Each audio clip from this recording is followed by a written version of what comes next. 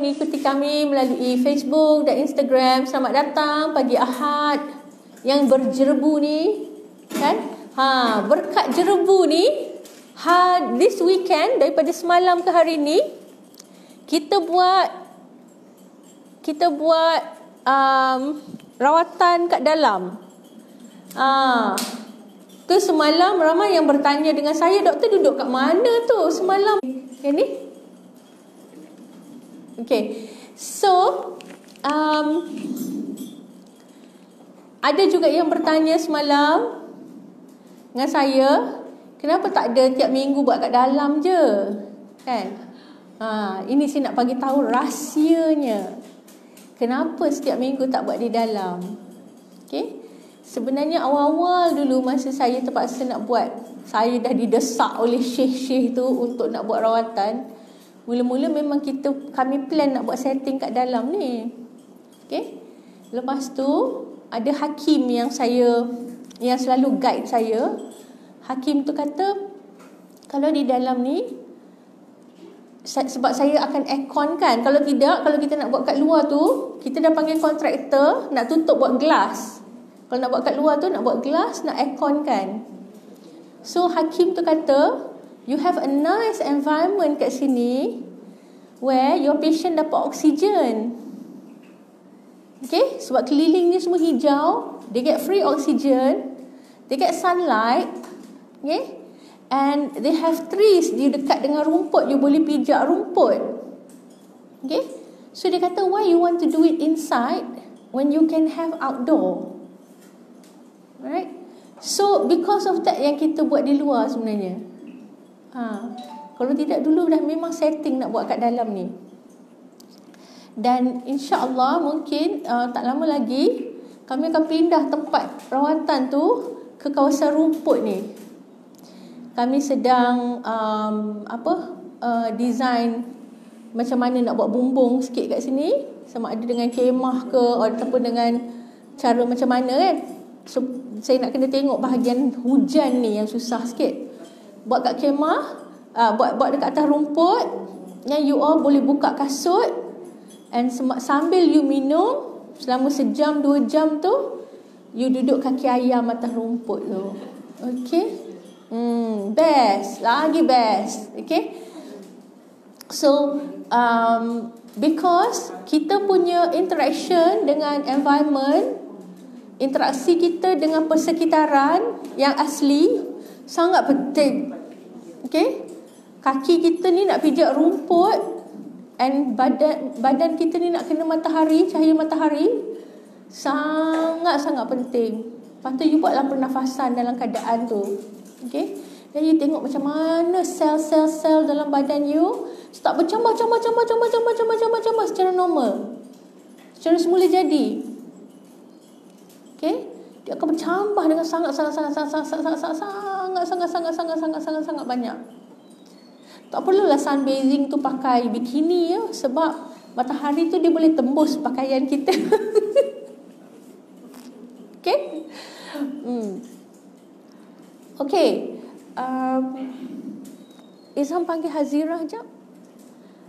Saya nak introduce um, sekarang ni Uh, bagi siapa yang menonton melalui FB dan Instagram, mungkin you tidak tahu, uh, kami ada medical assistant sekarang ni uh, di sini dan kita juga ada seorang physiotherapy therapist, physiotherapist, okay? So, ah, uh, yes. So, um, physiotherapist ni dia jika anda mempunyai apa-apa masalah, tak perlu nak datang minum jus tahara, datang jumpa dia je untuk sang fisioterapi punya advice. Okay? Sebagai contoh, minggu lepas, um, one of our patient, dia paru-paru dia banyak sangat kahak. Dia, dia sangat banyak kahak. So, uh, fisioterapis kita ajar dia macam mana dia nak batuk untuk nak mengeluarkan kahak tu. Okay? So masa dia minum jus tahara kan kita akan muntah, dia batuk dengan banyak. So dia batuk mengikut cara yang our physio ajar dan kahak tu keluar banyak. Okay? So fisioterapis, uh, pembelajaran fisioterapi juga adalah rawatan alternatif. Okay? mereka juga mengajar cara alternatif, cara semula jadi untuk kita kembali sembuh. Uh, so saya introduce ni Hazira. Tunjuk kejap Hazira pada Facebook dan Instagram. Wah, you have to know that. Okay, so Hazira selamat datang. Okay, um, jadi kalau anda mempunyai masalah uh, pergerakan, masalah sakit pinggang, masalah sakit bau, masalah sakit kepala, all of this masalah, masalah, masalah, you boleh buat appointment untuk jumpa dengan Hazira and Hazira boleh bantu you. Okay? Tetapi lebih daripada tu adalah bestnya Hazira akan buat berbagai-bagai jenis kelas. Okay? Kelas senaman di dalam air. So kita akan masuk dalam swimming pool dan buat senaman bukan swimming. Uh, Hazira akan buat program kelas insya-Allah. Okay? And then Hazira juga akan mengajar macam mana daripada pergerakan solat daripada pergerakan solat je, pergerakan biasa kita duduk dan bangun itu kita boleh build muscle. You boleh dapat six packs hanya daripada pergerakan solat. Tak adalah six packs kot taklah sampai intensif. Kalau you buat betul-betul boleh, boleh dia akan keras. Kita punya perut akan mula keras balik. Okay? We can gain muscle through pergerakan biasa. Kita tak payah pergi gym sahaja nak menurut nak nak tunggu nak build the muscle. Okay? Dan apa lagi ya, Hazira? What else? Cara daily life. Ah, cara daily life kita uh, dan sebagainya. Okay? So we're going to have a lot more programs untuk semua pesakit-pesakit yang dah sedia ada uh, untuk come back and join our program supaya you learn new new things yang you boleh apply, aplikasikan di dalam kehidupan dan boleh ajar kepada family you, you boleh ajar kepada kawan-kawan you, cikgu-cikgu semua boleh ngajar di sekolah. Okay? And uh, kalau later nak panggil kita ke sekolah pun boleh juga. Nak panggil kita mengajar di uh, office you, di company you pun boleh juga. Okay? So, itu je introduction to Hazira today. Okay? Now, um, the other introduction sebenarnya saya nak introduce you kepada uh, um,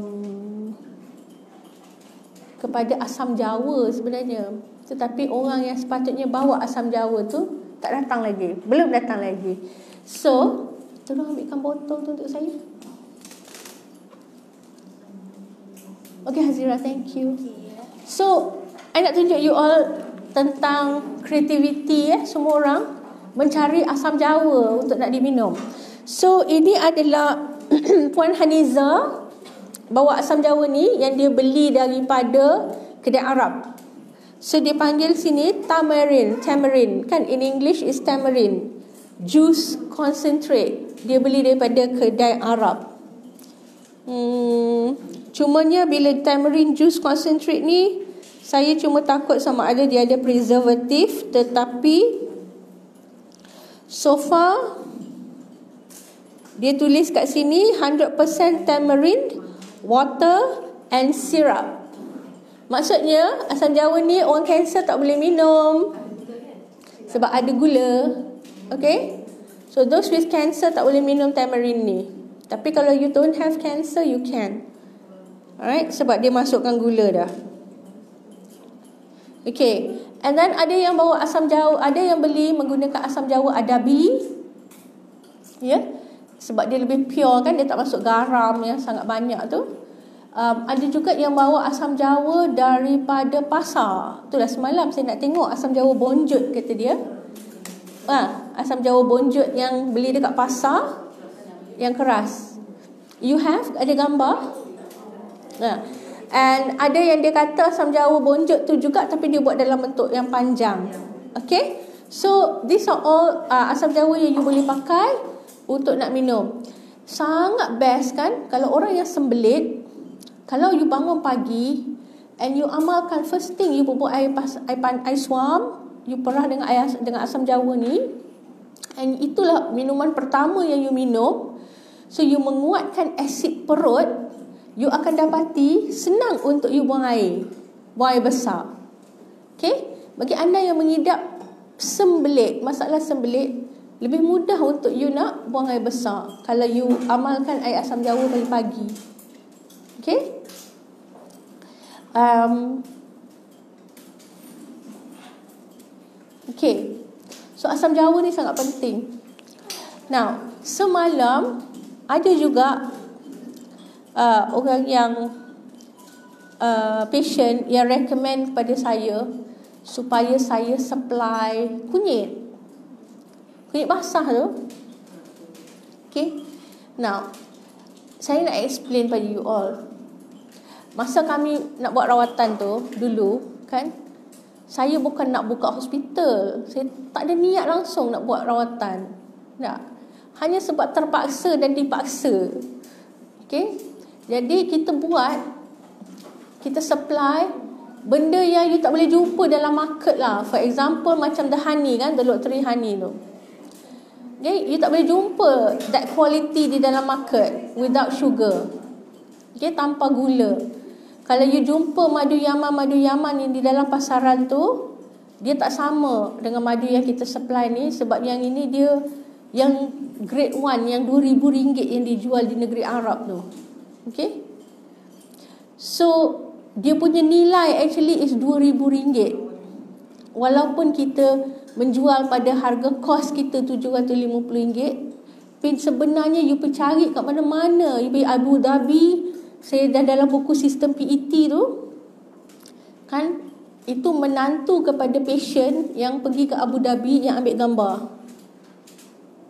Yang kita ambil gambar tu, kita masuk snapshot gambar tu dalam buku sistem PET. Okay? Di Abu Dhabi is 2000 Arab Emirate dirham. Di Dubai is between tu setengah tempat 2000 setengah tempat sampai 3000 per kilo ni, satu kilo ni. Tetapi dia orang boleh jual sebab orang Arab dia faham dia faham nilai dia. Okey, kalau madu sebegini orang sakit jantung 9 tahun boleh hilang sakit jantung. Bak kata Haniza boleh pecah pup sumbat tu, sumbat pada salur jantung tu boleh boleh boleh boleh pecah pop macam tu. Then what is the value of such honey? You know? So, that's why orang Arab yang tahu dia punya khasiat dia tu, dia makan, dia beli, dia invest. Okay? Di sini sebab um, matlamat kami bukan business. We're not doing this as business. So kita jual at our cost price. Okay.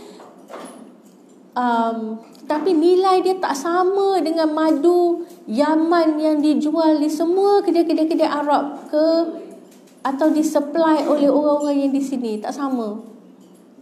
Tak sama tak sama. Okay. Kalau boleh dapat kat sini, saya akan bagi tahu you kedai mana and suruh you pergi beli. Sebab kerjanya yang nak membawa madu tu Sangatlah rumit. You cannot imagine. Okay? Sebab sekarang ni, negara-negara yang kita bawa madu tu, negara tu semua negara perang. Okay? Yaman perang. Palestine perang. Nak bawa pelabuhan dia, dengan pelabuhan dia punya security, lepas tu kena masuk direct ke Arab Saudi dulu. Sebab pelabuhan di Yaman pun dah tak ada sekarang ni. Masuk border Arab Saudi. Masuk border Arab Saudi, custom immigration Arab Saudi buat hal. Letak kat sana. Kadang-kadang sampai 2 bulan. Baru masuk port. Okay? Masuk port perjalanan dari sana ke sini. Sampai ke port kita. Dengan taxnya, dengan custom kita lagi. Oh, dia punya dia punya apa? Proses sangat tedious. Okay? Jadi, apa barang yang boleh you dapat daripada sini, rajin-rajinkanlah diri pergi beli. Saya tak supply. Okay? Kami tak supply kunyit, kami tak supply asam jawa, kami tak supply. Macam ada di antara patient kan, kadang-kadang dia bawa daripada Kelantan yang rempah tu kan. So dia sharing dengan you all. Tak apa, kita galakkan.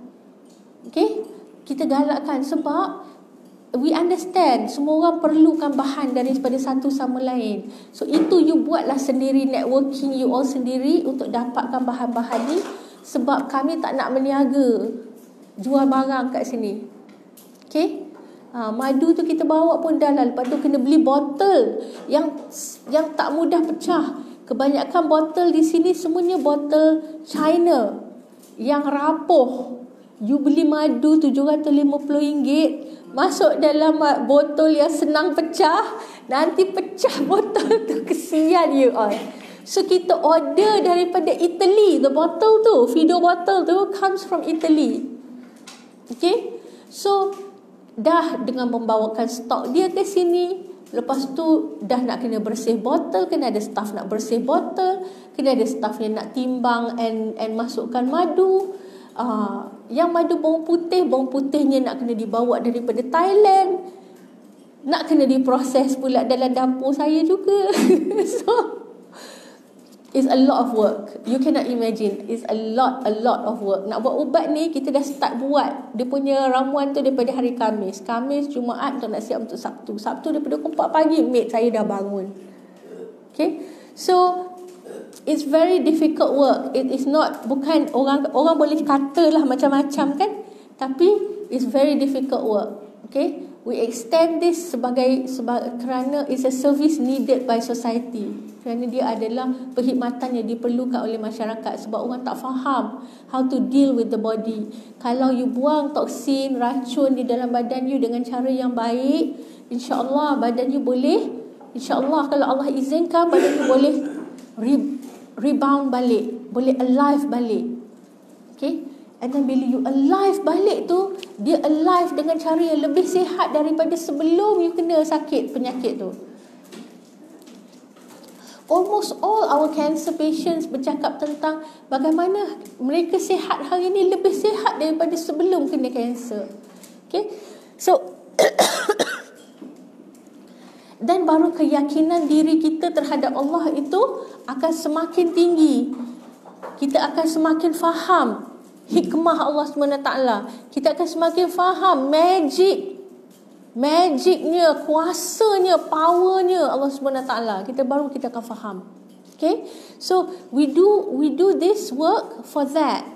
Bila you masuk, nanti you join program Trillion Air, you akan sangat faham sebab kita akan explain macam mana daripada Allah itu zat yang maha berkuasa. Okey sifat asma af'al Allah tu dan macam mana sifat asma af'al Allah itu wujud di dalam penciptaannya. Dan macam mana kita ini interrelationship kita dengan Allah SWT untuk memberikan apa saja yang kita nak. Apa kita nak semua Allah bagi Without boundary tau. Without boundary. Allah beri kat kita. Okay. Kalau ada boundary, kita yang create that boundary. Allah tak create that boundary. Tanpa sekatan. Apa kita nak, Allah bagi je. Tanpa sekatan. Kalau ada sekatan, kalau kita tak dapat, itu sekatan yang kita buat antara diri kita dan Allah. Okay, so when you enter program Trillion Air, sebab tu kita namakan dia formula Trillion Air sebab kita ajar that formula. Formula penciptaan. Macam mana penc- hukum penciptaan, hukum alam dan macam mana fitrah di dalam diri kita ni berfungsi. How is that interrelationship? If you understand that and you aplikasikan benda tu, subhanallah, masya Allah, best hidup, best, best, best best. Sangat-sangat best. Bukan bermaksud you tak you tak ada ujian di dalam hidup. Ada. Para nabi dan rasul diuji dengan paling-paling paling teruk. Kenapa paling teruk? Sebab dia punya relationship dengan Allah tu so close. Dia tak rasa okey je. Alhamdulillah dapat ujian ni alhamdulillah dapat ujian ni alhamdulillah dapat ujian ni alhamdulillah Okay. Kalau kita hmm, nangis dah berderai-derai, komplain dah meraung-raung. Kan?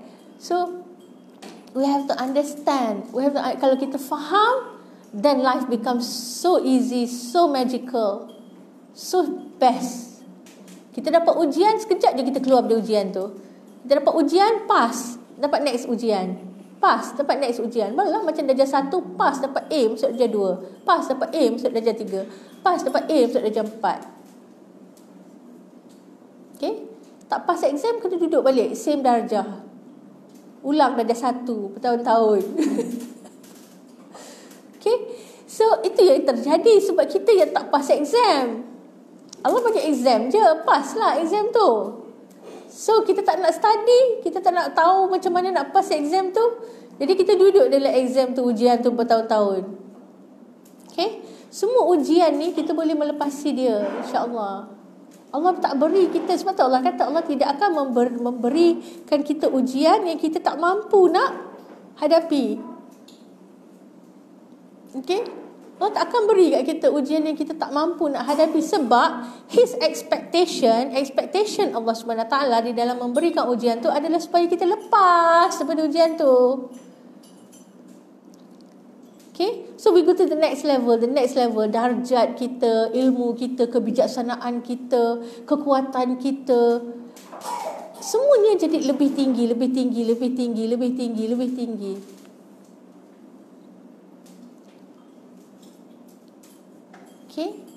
So, effortless living. Effortless.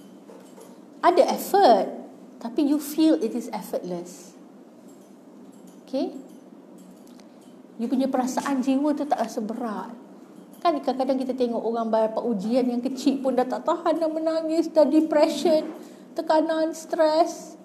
Budak-budak tak pas exam sekolah aja dah kemurungan kemurungan di kalangan pelajar sekolah sangat tinggi.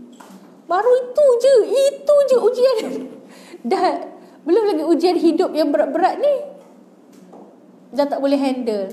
Ha, so kalau kita faham dia punya formula dan kita hidup mengikut formula tu ujian besar pun kita boleh handle. Sebab tu ujian besar tu sampai kepada para nabi dan rasul sebab dia can handle it.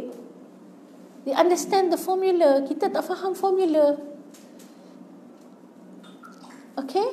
So, um, tak apa. Those for those of you yang uh, tak enroll untuk program Trillion Air pada 25-26 bulan ini, insyaAllah saya akan bagi tarikh untuk bulan depan ataupun bulan November. Okay? Um, saya tengah uh, susun jadual saya sebab saya ada nak travel next month and then bulan November pun saya ada nak travel. Mungkin saya balik selepas travel November tu baru saya buat lagi satu program. And then December maybe we will have two or three programs sebab cuti sekolah. Okay? Maybe kita boleh buat tiga program masa cuti sekolah. Then you all tolong daftar daftarkan you punya attendance. Alright? Okay, itu saja sharing untuk hari ini um, semoga Allah SWT memberikan kita taufik dan hidayah membawa kita kepada keadaan yang lebih sihat, lebih aktif dan semoga Allah panjangkan umur kita untuk menjalankan semua kewajipan-kewajipan kita di dalam dunia ini. Okay? Wabillahi taufiq wal hidayah. Wassalamualaikum warahmatullahi wabarakatuh.